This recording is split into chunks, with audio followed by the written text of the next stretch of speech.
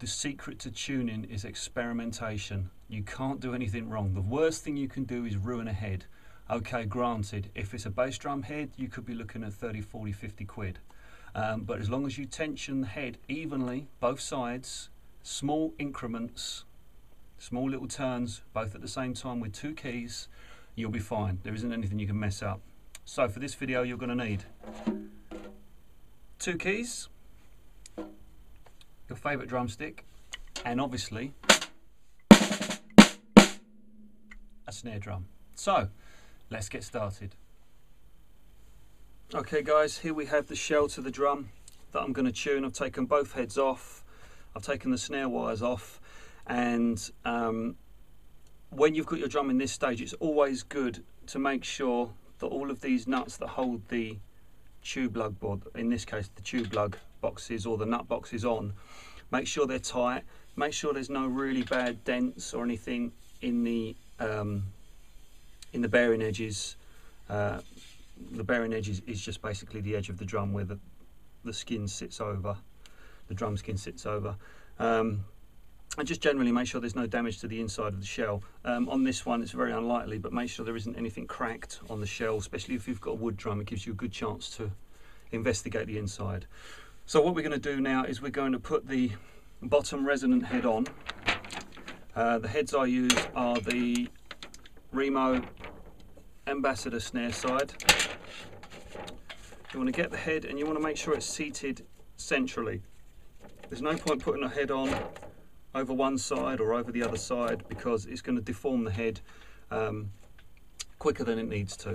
So make sure the head's seated nice and evenly. Then we're going to put the hoop on, the bottom hoop, like so. Now at this point my first tip would be if your drum doesn't have nylon washers on the tension bolts, get some. You can buy them from your local shop, you can buy them from eBay. Um, what this does is it limits the amount of shock that goes through each one of these bolts. And you can imagine if you've got shock going through the drum from here, if you don't have these washers, the shock can go into the bolt and it can slowly work its way loose and you'll end up with a, a bottom head like that or, or worst case scenario, they'll fall out when you're on the gig you won't know where they are and you can't tune your head back up. So now what I'm going to do is I'm going to put all of these bolts in and I'm going to tension them down until they're just sitting on the actual um, tension rod hole and then uh, I'll explain um, how we tighten them up. So really they're just going to be going finger tight at the moment. So um, I'll do I'll go around and do that now.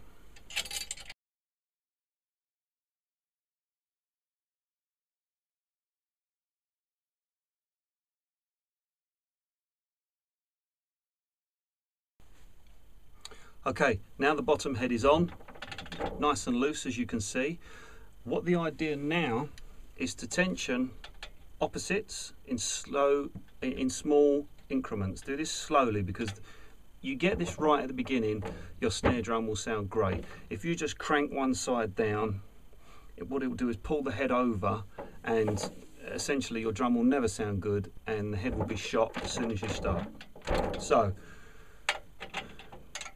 even and I'm just going to do half turns then go to opposites half turn. Opposite again half turn. Opposite again half turn. And then just basically go all the way around and what you'll see me doing is pushing in the center of the drum as I'm doing it just to make sure that it is sitting in the middle. Uh, and we'll get to the point and you'll show me may see me tapping as I'm going around just to make sure they're all equal tension and I'll go through that bit um, after I've tightened these up. So we'll do that first. Okay, so the bottom head now is pretty much tensioned. When you're looking for somewhere for this head to sit as far as um, pitch, somewhere around an A is usually a good place to start. If you've got a guitar, if you've got a pitch tuner or anything like that, an A is roughly if it's a little bit lower or a little bit higher, it doesn't matter. This is not a hard and fast rule, but uh, usually an A is fairly good. Once you get it, um, for purposes of the video, I've got to kind of, you know, do this quite quickly. Otherwise, it's going to be a half an hour video on just snare tuning. But essentially what we need to do now is check to see whether all of these are, are the same tension. Now, on the bottom head, on the actual shell of the drum, you've got what they call uh, a snare bed. And it's where there's a slight dip in the actual shell and that's to accommodate the snare wires so the bottom head you're never going to get all of the lugs the same you'll usually find that, that, sort of this one here will be high these ones here will be lower um, I'll, I'll show you what I mean high, low, high, low, high, low. That's fine as long as you get them all roughly the same. So you'll go high, slightly lower, then lower. High, slightly low, then lower. You're never going to get them the same, especially if you're using a die cast hoop. This is a very, very solid hoop. There's two different types of hoop. You've got a die cast hoop, which is always like this, and it's cast from, well, from a die, but it's one piece, usually thick, very rigid. Um, and then you'll get a triple flanged hoop which has a little bit more flex to it so you'll probably stand a better chance of getting them all the same if you've got a triple flanged hoop. I'm happy with this. This sounds this is a good place to start. You can always come back to the bottom head afterwards. I'll show you how to do that. So now we're going to flip the drum over and we're going to put the top batter head on then we're going to put the hoop on and we're going to tighten all of the tension rods to finger tight. Now the reason you don't see me at the beginning tighten these with my fingers is because I put an ever I put a very small drop of non-permanent Loctite on the tension bolts. A very very very small drop. This also helps to stop the the um, the tension rods from detuning when you're when you're banging it quite hard. This drum I always use live, and the last thing you want is it detuning. So um, for the sake of a couple of quid, it's the non-permanent. Don't go putting permanent Loctite in these because you will mess the drum up forever. It will be extremely difficult to get that out. So a very, very small bit of non-permanent Loctite, which just stops the threads from loosening too much, which is why it's very difficult for me to tighten these with my fingers. So you'll see me using the key, but I'm only getting them to finger tight. Okay, so turn the drum over, top head on, hoop, tension rods to finger tight, and then we'll we'll um, we'll go from there.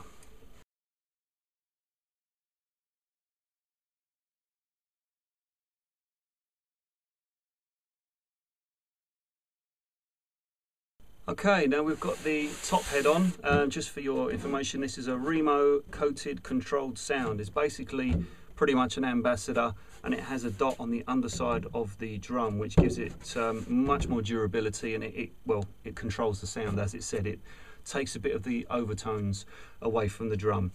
I don't mind a bit of ringing on my snares but I, am one of those people that likes quite a dry snare sound. Um, always have done. Um, so yeah controlled sounds so now you can see this head is very loose. It's every every tension rug tension lug is finger tight. Now what we're going to do is the same as we did on the bottom. Opposites, half a turn. Opposites, half a turn. Opposites, half a turn. Opposites, half a turn. And opposites, half a turn. And I'm just going to go around and get this into um, a ballpark kind of tuning. If you were tuning the bottom to an A, you'd probably tune this um, well, you can tune this however you want. I'd usually tune it about the same, to be honest, or maybe a little bit lower. So I'm just going to do that now. Again, you're going to see me pushing in the middle just to make sure that the skin, the drum head sits nice and evenly when it's being tensioned down and also banging on each uh, node point. These are these points where the tension bolts are, are called node points um, just to make sure they're all even as we go along. So uh, I'm going to do that now and then uh, we'll see, hopefully we should have a fairly in tune head.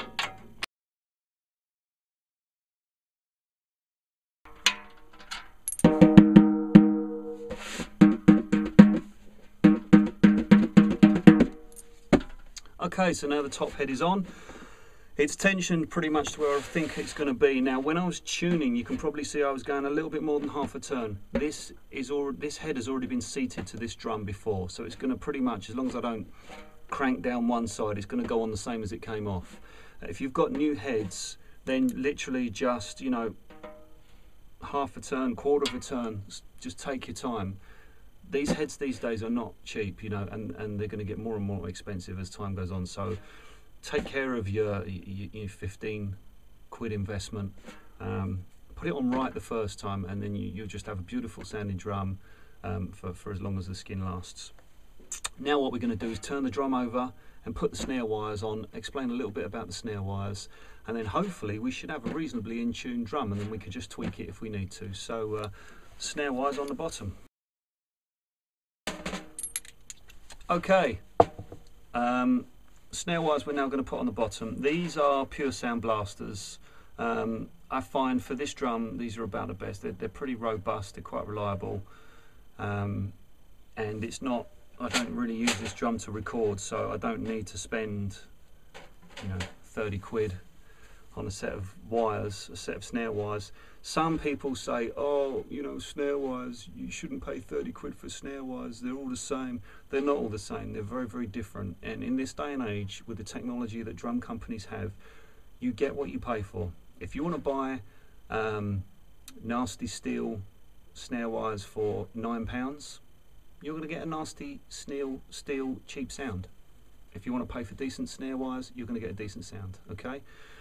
Obviously, there's no point putting 30 pound snare wires on an 80 pound drum. They're not going to achieve anything, but um, you do get what you pay for. The only thing to note, or one thing to note before we go any further, is I don't use wires or string. Um, I'm personally of the mind that things get better with age. Uh, they, you know, technology gets better. Um, I'm not really one of the purists. Um, I prefer straps. They're convenient. They're easy.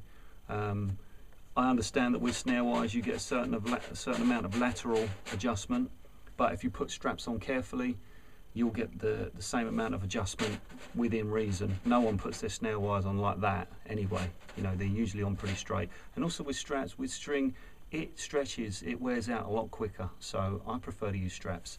I don't use the straps that come with them. They're too rigid, they're too thick. I don't feel that they conform to the edge of the head as easily.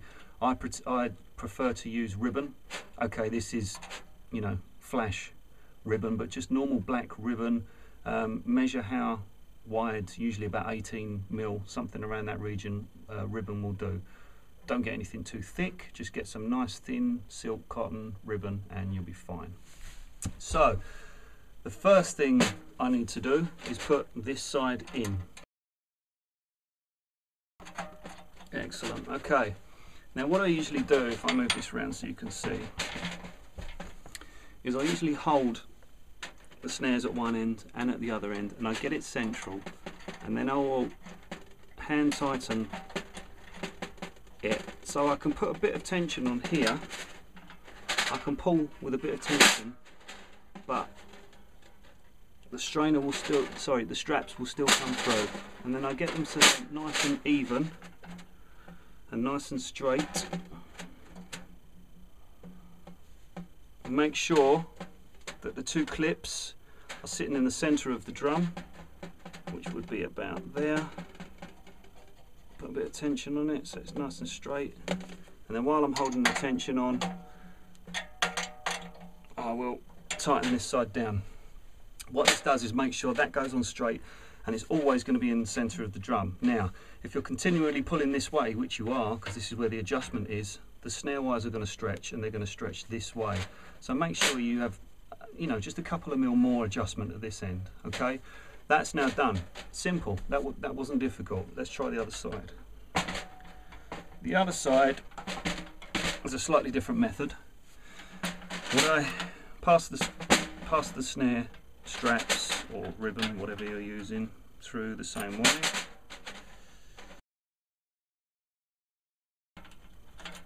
So now that's through, make sure the snares are in the off position, which if you've got the drum upside down would be, if you've got the drum upside down, the off position would be up. Okay, you want to get them nice and central, and then the same thing, you want to tighten them, but not all the way, so that there's a little bit of give, and then make sure your adjuster is pretty much out as much as it will go. Give them a good tug, and then all I do is throw it down or throw it up, depending on which way you're looking at it. So now the snare mechanism is on. Then I'll tighten this right up. And that's it, done. So when you turn it over, all you need to do now is tighten it up a bit and you've got your snares done. Obviously you can spend as much time or as little time doing this as possible and um, it doesn't sound too bad. Usually I have some form of muffling on the drum, especially if I'm recording.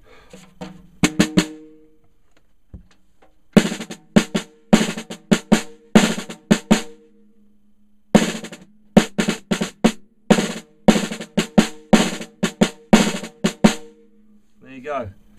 Um, obviously, I want to spend a bit more time on this. Um, this is just a quick overview so that you know you, it's very easy to do. You can't mess anything up. If you've got new heads, take your time. If you've got new snare wires, take your time. But essentially, that's it. I'm going to show you a couple of other drums. This is a very standard way of throwing the snares on and off. Down, up. Um, there's a couple of other designs that I've got that I just want to show you that are slightly different. Um, maybe something to look out for when you when you're deciding to buy a drum. So uh, we'll just cut away and show you a couple of different drums. Okay, this is uh, another drum. This is a Mapex Black Panther. It's the walnut, the uh, 14 by six and a half um, walnut deep forest. You'll notice straight away something different about this drum. It doesn't have a standard hoop. These are called S hoops. Um, I believe somewhere, there we go, the company logo. S hoops um, I, I, I, use on my snare drums. I don't use them on toms or anything like that. There are artists that use them on all their drums. I think Gavin Harrison um, is a big fan of S hoops. And essentially, what these are is halfway between a triple flanged hoop and a die cast hoop. They have the flexibility of a triple flanged hoop, um, but they have the focus of a diecast hoop. They're halfway between, and they're absolutely fantastic. They really are good on a wood drum especially, they really focus the sound. Um, great for recording. You get a great um, side st- cross stick sound on them as well. And um, as a bonus, if you're using these muffle rings, they hold the ring inside the drum and you can do whatever you want with them and it doesn't disappear. The only downside to S hoops is if you are playing live, nine out of ten times, depending on what kind of gig you've got, you'll have a horrible sound man who will come along and want to clamp a microphone to the side of the drum. These will not hold the clamps for the microphones. So your horrible sound man who wants to damage your beautiful drum will have to toddle off and get a microphone stand, as he should do. Clamping things on the sides of drums um, will always affect the sound, depending on how tight they've. So if you're one of those people that likes a cowbell clamped to your floor tom, bear in mind if you clamp it too hard, then it is going to disrupt the sound of your floor tom. And the same goes for these. You know, I've been to gigs where I haven't had S hoops and they've wanted to put a, a mic on the top hoop and a mic on the bottom hoop for the bottom. It's not good for the hoops and it's not good for the drum. It, it, it does mess the sound up. It deforms the hoop, it deforms the shell. So, anyway, what I wanted to show you on this drum um, mainly was the snare strainer. And this is quite clever from Mapex. It has a two-stage strainer. So that's stage one. It will sit there quite happily and it's a very loose sound. And then stage two is fully on and obviously that's the normal sound. You've obviously got your adjustment here, but the clever part is on the butt end, you've also got an adjuster. So if you're ever in a position where the snares are moving from one side to the other as they're stretching out, you can adjust from both sides and keep it central, which I think is a fantastic idea. Um, I'm just going to show you another drum now which has a very different strainer, um, but essentially, you know, the, the snare strainers are just, uh, the, sorry, the snare uh, strainers are just there to pull the snares on and off. Um, there's, there's lots of different ones. You can get parallel action, which is where the whole bottom of the drum, the whole strainer uh, um, separates from the drum and takes all of the wires off at once completely. Um, and then there's also the free floating style, which is a similar um, a similar option. The only thing I would say is the the simpler the device, the more reliable usually it is. If you're on the road, maybe getting something with a very simple strainer will be the idea. In case it breaks, you can fix it. If you've got a very exotic design and it goes wrong, you may have a bit of trouble getting parts for it.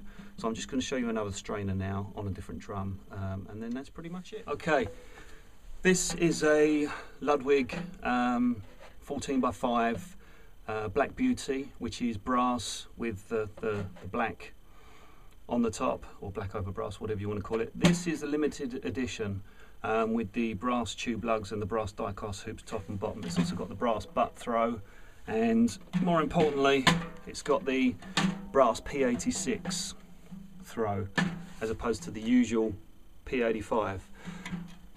This looks very complicated, but it's quite simple. I've heard a lot of stories of these going wrong. I've had no problems with this. There is always a little bit of play on the top, but you never, I've never ever, ever heard this on a microphone. Um, and if it really bothers you that much, you can put a bit of black gaffer tape from there to there and it will just hold it rigid. But this works in a way, when you throw the top down, the bottom also moves down in a kind of parallel motion and this is your way to adjust it, like that. So that's the other way. Uh, like I say, there is plenty of them around, um, so take your time, watch what you're picking, and hopefully that's given you a good insight into um, how to tune your snare. One last thing I'd like to say is the snare basket, the snare stand, this part, the basket that holds it, don't over tighten it because it will have the same effect as someone clamping a microphone to your drum. It will choke the drum out, it will dry it up. It will, instead of sounding like this, it will sound, it will squeeze it. Um, some people say, oh, it doesn't, I've recorded enough drums to know it does make a difference. If you really over tighten, you will um, affect the drum in some way. So keep it so that the drum is in the basket tight enough so you can just so it just pops out and then it can just pop back in and that's it that's tight enough so um, thanks for watching. Hopefully that should um, be a bit shorter. If you've got any questions, uh, please leave some comments, let me know. Other than that, um, go and tune your snares.